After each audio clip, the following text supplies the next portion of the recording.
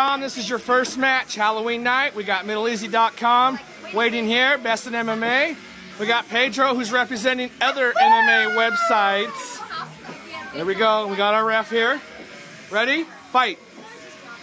Go. Looks like Middle Easy's getting the win. He's got the choke.